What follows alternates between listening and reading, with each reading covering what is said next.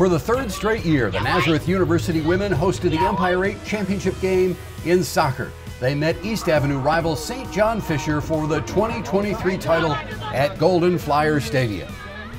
Naz was looking for their 13th E8 championship under head coach Gail Mann.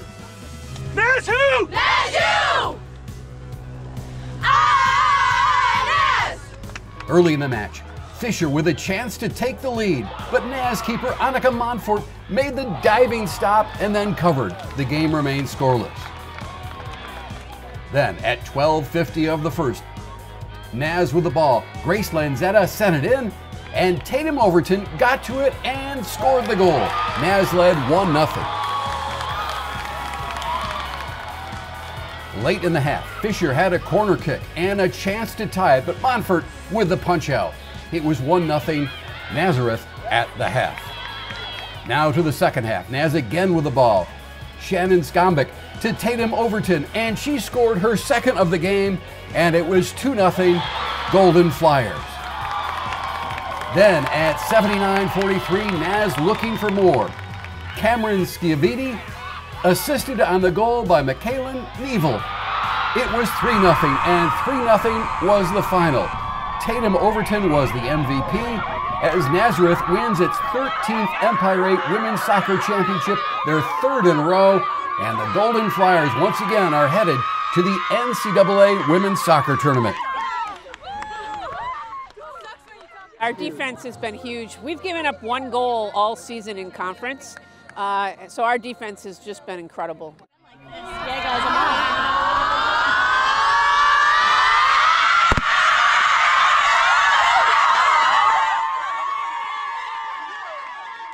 You said it. Defense wins championships. Defense wins championships. There's no question. I've always believed that, and uh, it's nice to score goals, which we hadn't done this season. So to get, oh gosh, uh, what is that? Seven, six goals in the two conference games, and then the game prior to that, we scored two against Alfred. So, I mean, we've scored more goals in the postseason than we scored all season. So it was really great. MVP. Talk about that. Could you ever imagine that? No, actually, I was I was I was surprised. I knew what I had to do. I knew that I had to be there for my team. Uh, as a forward, I got to score the goals. So I'm glad that I could be there for my team, and we all banded together. And we the goals were team goals. They weren't just me. We played really well in the first half. I would say definitely the first 20. It was like our game, um, and then momentum shifts happen, and uh, we just the momentum shifted towards Fisher, and our defense just was getting a little bit bombarded by by Fisher, and we just uh, we held our own.